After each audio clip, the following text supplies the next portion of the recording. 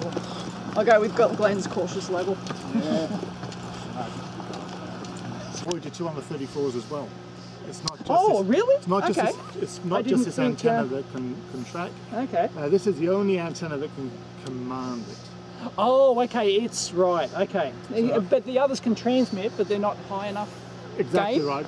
Are they high enough power but not high enough gain? Is that the same power, not enough gain. same power, not enough gain? Yeah. To actually sort of, this is, uh, there's two, there's two transmitters on here that we use, or transmitter powers that we use Yep. for Voyager. One's 18 kilowatts, the other one's 75. Right. You start squeezing that through a gain of 63 dB, then so you get a nice pencil beam all the way through space. okay. Uh, so with the 34s, you need around about 80 kilowatts to get the 18 kilowatt equivalent, Yep. which we don't have. Got it. And civil aviation hate us. Yeah, right.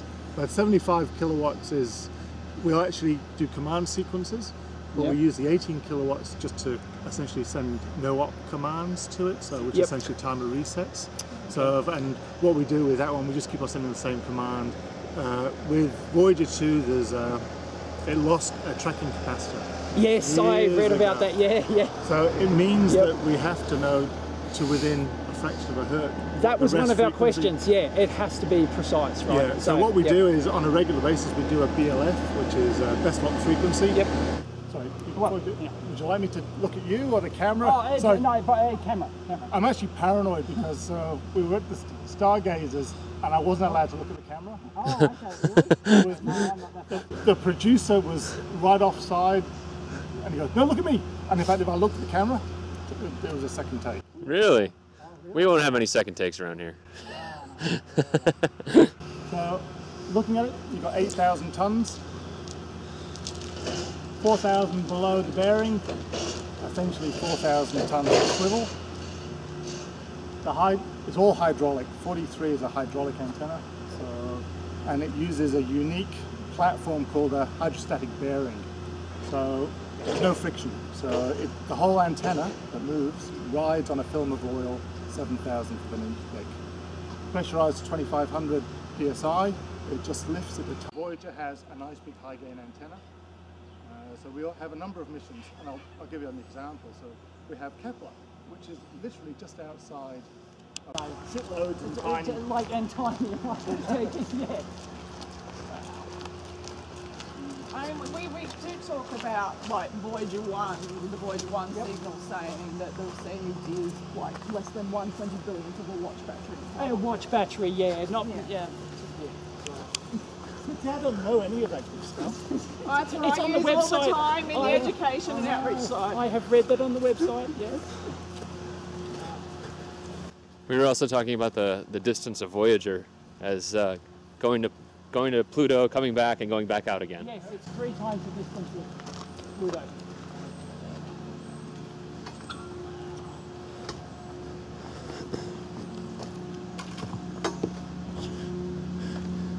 So we'll just get the camera on the ground and we'll just shoot Richard I- straight up and up his nose, right? Shoot straight up. Yeah, right. even have a wide enough lens to do that.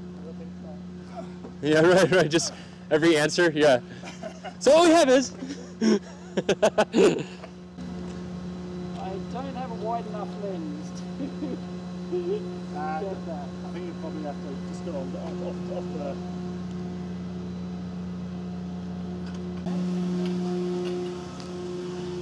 And if you can discern movement, so you'd have to sit there for a while.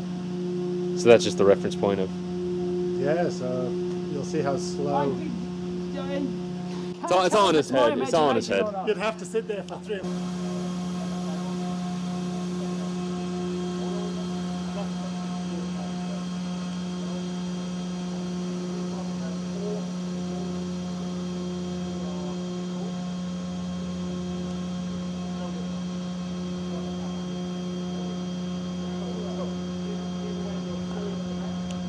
SDR. Oh, yeah. Yeah, oh, that's which getting are big. huge Yes, as well. that's and, getting big uh, now. You know, and Yep. I mean, I, I love, love this stuff, but on the top of my house I have an ADSB Raspberry Pi Right. Nice, as yeah. well. Nice. I've got home automation Raspberry Pis. Yeah. A I've, I've got a sprinkler system which is raspberry. Oh, of course, right, right. So, so yeah. Podcast. We're pretty clueless on the RF side yeah, of things, yeah, to we're, be fair. We're, we're both R- RF clueless. Well, straight, RF is difficult. When when I went to, uh, I was in, in college and I was sort of going to, I was in a marine college, which was, uh, and it was pure RF. Oh, Oh, really? Uh, course, so right. radio. Smith radio- charts, Smith yeah, charts, Smith charts, huh? Yeah, not so much as that, but it, it was, I, I suppose, big cavities, big Right. klystrons. Yeah. Uh-huh. So you, you talk about hardware, and so Yeah. it, was, it was the meaty stuff. And after coming from, so I, I came straight from college to Uh-huh, here, yeah. they brought me out here.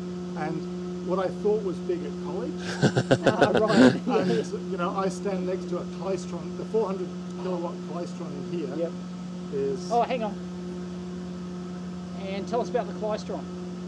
I can show you. you can show us the klystron. I can Oh, without mounting an antenna. Come on, come with me. oh, oh, oh. Okay, I'll get the box. I'll get the box. We've got to go. All right. Oh, oh, Spare, of course. oh, spare. Oh, that's- that's fine. It's not ITAR. No, good. It's a commercial product. Oh, ITAR, Oh, right? yes, the ITAR. I'm allowed to see ITAR stuff. You're allowed to, yeah, sure, yeah, yeah. Yeah. Oh, now, now we're talking. All right. So this is just storage down here? Uh, Oh, okay. are those racks anything interesting we should know about? Sorry? Are, are those racks anything interesting we should know about? Uh, actually, they're the controller racks for the 18 kilowatts. Oh, okay. Yep. So you've got the PAs there. Oh, so the 80 kilowatt transmitter is different to the other, to the 4. Oh, yeah, exactly. Right. Including, uh, we've got uh, an MG set.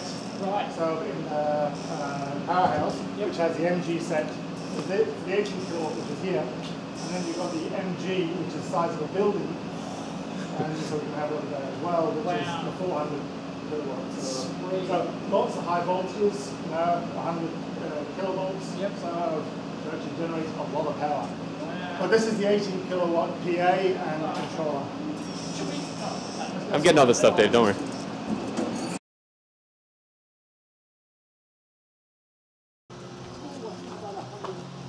I'm not quite sure what the, the average is.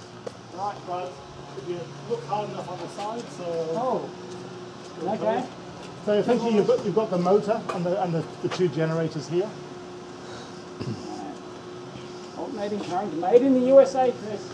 Every antennas that we interface with on Uh. other networks Uh-huh. uh, is given a number. So if you look at Canberra, we've got the 30s and the 40s.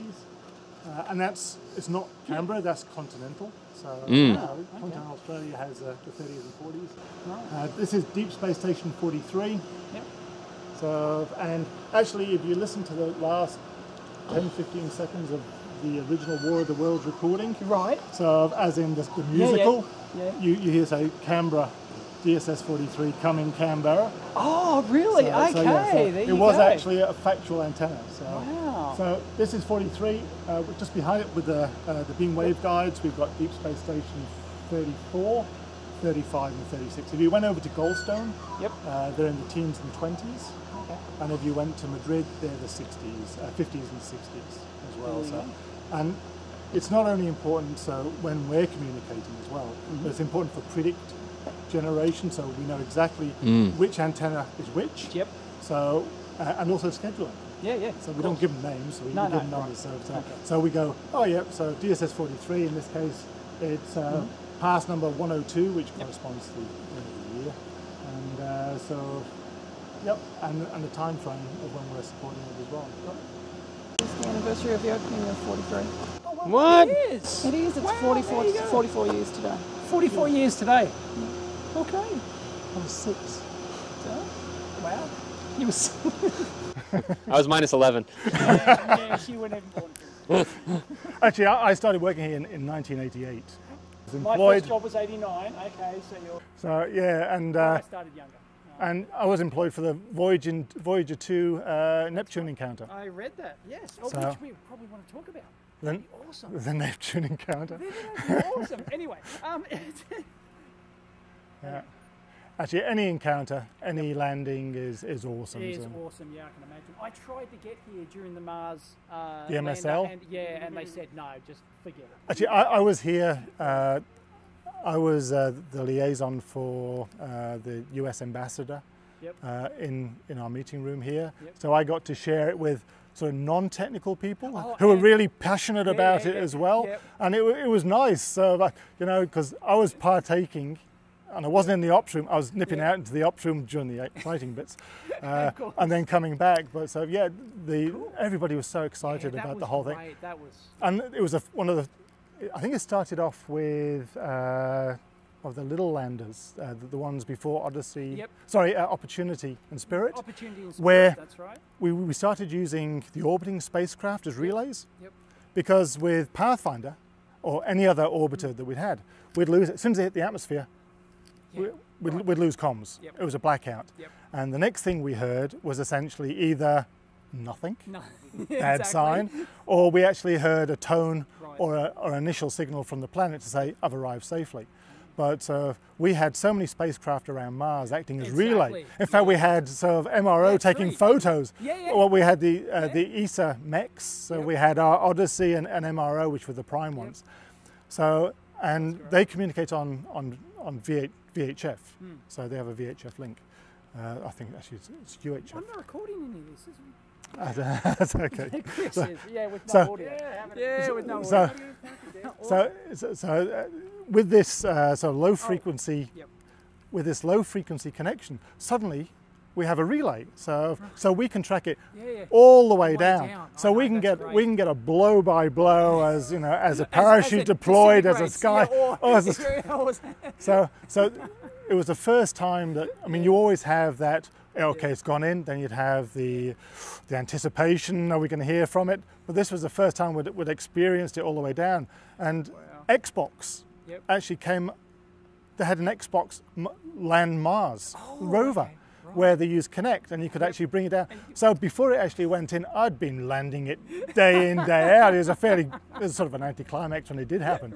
So we had it in the ops room, which was quite bizarre. We were tracking the spacecraft behind and, we're- and we're all landing, so, so simu- in a simulated version of it. Oh, I would love to have been. And South Road mm-hmm. In. into the site, and you've got 30 kilometres one way and the other. But as far as Canberra's concerned, we're only 12 kilometres away. We're just over that hill. But that hill is a, a big stopper when it comes to RF. Right. And so, and if we did have any RF, it would shoot shadows. Forward tracking the wind as well. Uh, so as the day goes on, we'll- we have the Mars rising, and I'll, I'll show you the schedule that we have. Okay, uh, these Testing. So everything in green is essentially was being supported now. Right. no worries. About point eight. Let's have a look at They're they're all stoked. So yeah, what I was asking is, does it ever just like feel like a normal job? Like, like so I used to work in a fab, and it was like, Oh. like sometimes you walk in, you're like, what am I doing? It's just like it just hits you sometimes of just how weird it is. Well, it's uh, the, the good thing about space exploration is there's so many events, there's so many milestones, and I suppose we're lucky because if you look at a single spacecraft, look at Voyager, you know, sort of, you know, it's 1977 till today, and there's, there's been after the encounters, there's, there's I suppose the only milestone we're looking for now is when it, it goes into interstellar space. Right. So Vo- Voyager's done its dash as far as uh, sort of the adrenaline, the big stuff. Uh, but Cassini with the grand finale, so coming up in September, where they're taking Cassini and throwing it in, in, into Saturn. So they're, throwing it into Saturn, and you know that's Cassini has been a, a really nice spacecraft for us. It's a really active spacecraft. Uh, it's always doing amazing stuff, and they release all the stuff that uh, they discover or essentially so bring down from the spacecraft almost in real time. So we can see data coming down through Canberra, and then within 24 hours, uh, the Cassini project's releasing it to the public. So there's always something there. And then you got the landers as well. But sort of, as we're doing all these spacecraft, we're starting to come up for the for the new missions. So there's, it's like uh it's, it's always refreshing. So I mean, Voyager, yes, is the exception, being here since 1977. Uh, but uh, if you look at the lifespan of a project, it's probably five or six years. But in that time, we've had new projects coming along as well. And certainly, when you look at the landers, each one's trying to outdo each other. So you know, MSL went down under the sky crane. So they're thinking of a different method, a different method now, you know, to bring heavier weights down. And each time they do it, I go, nah, it won't work. All the way back from the Pathfinder days with the essentially the airbags. Yes. And, and I can still remember thinking, because you know we, we were here, we had the project out here explaining how it was going to work and the airbag and sort of you know the petal and it's going to open and we're, and we're going, oh yeah, and what's the likelihood of this happening? As in, as you're describing it, and, and they're all even they're saying, fairly good. so so so now Zero. yeah. Well, uh, considering sort of, uh, I suppose, the problems that we were having with with Mars, you know, so we were having so many spacecraft just going straight into it, uh, and so it wasn't a successful planet for NASA or anybody else, and so I think NASA's really turned it into its own now, where, you know, so uh, we're assuming success. So and and failure is an exception now. So where it was probably the flip side, you know, 10, 15 years ago.